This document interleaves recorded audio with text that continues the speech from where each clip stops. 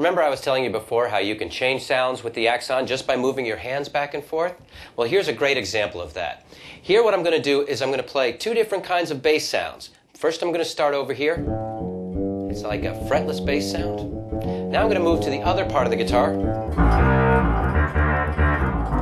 And then I go right back over here to my other sound.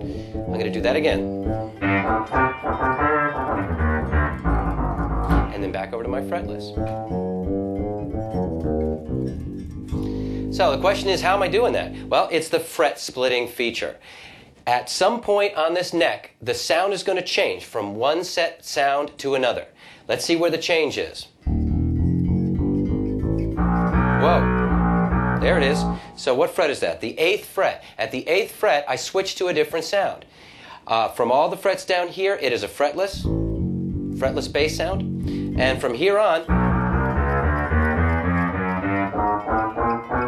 It's a distortion based sound.